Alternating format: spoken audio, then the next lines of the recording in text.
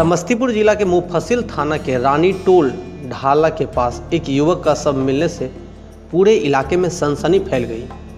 घटना की सूचना पर हज़ारों की संख्या में ग्रामीण मौके पर पहुंचकर सबके शिनाख्त में जुट गए। घटना की सूचना मिलते ही मुफस्सिल पुलिस एवं सदर डीएसपी घटना स्थल पर पहुंचकर सबको जैसे ही नदी के किनारे से निकाला तो सभी ग्रामीण का होश उड़ गया। युवक के शव को देखते ही ग्रामीणों ने उसकी पहचान दिलीप कुमार के रूप में की। प्राप्त जानकारी के अनुसार युवक का ससुराल घटनास्थल से कुछ ही दूरी पर है। ये युवक बेगूसराय के भगवानपुर थाना क्षेत्र के रहने वाले हैं और प्रॉपर्टी डीलर एवं दूध व्यवसाय का काम किया करता था। सबकी पहचान होने के बाद दिलीप के ससुराल में कोहराम मच गया। पुलिस ने जब मृतक के परिजनों से संपर्क साधा तब ये बात प्रकाश में आई कि मृतक रविवार को अपने पुत्र के नामांकन नवोदय विद्यालय में करवाने को लेकर प्रवेश परीक्षा का फॉर्म भरवाने तेगड़ा बाज़ार से निकला था।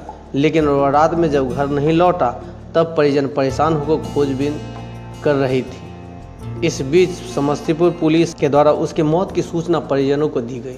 वहीं सदर डीएसपी मोहम्मद तनवीर ने बताया कि युवक की हत्या तीरधार हथियार से की गई है। पुलिस सबका पंचनामा बनाकर सबको पोस्टमार्टम में भेजकर छानबीन शुरू कर दी। वहीं घटना के बाद पूरे इलाके के लोग सदमे में डी न्यूज़ के लिए सुमन की रिपोर्ट। मृतक मेरे क्लास साथी थे, बूढ़ी बन का, इनका घर हुआ। अनिल पाठक जी का ये लड़का थे, दुग्ध का सेंटर चलाते थे। और कुछ प्रॉपर्टी डीलिंग का भी ये काम कर रहे थे तो आज कैसे उनकी हत्या हुई है? ये कल तीन बजे के बाद तीन चार के बीच देखिए ये दिलीप पाठक हैं। जो बेगूसराय तेगड़ा के स्थायी निवासी हैं। इनका ससुराल इस गाँव में है। कल शाम में ये अपने घर से जैसे ही निकले और उसके बाद से कोई इनका ट्रेस नहीं था। और अभी सुबह में जो है धारदार हथियार से इनकी हत्या की गई है। ऐसा प्रतीत होता है प्रथम दृष्टया कि विश्वास में इन्हें लेकर ले जाकर और नदी के घाट पर आराम से इनसे बातचीत की गई है और पीछे से पार पीछे से वार कर इनकी हत्या की गई है।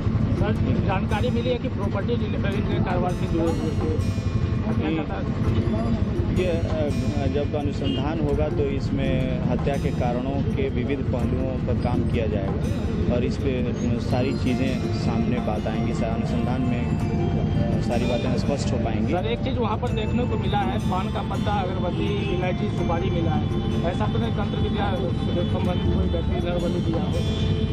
नहीं देखिए ये मुझे ऐसा प्र- प्रथम दृष्टया प्रतीत होता है कि उन्हें विश्वास उन, उनसे विश्वास कायम करने के लिए ये सब किया गया है।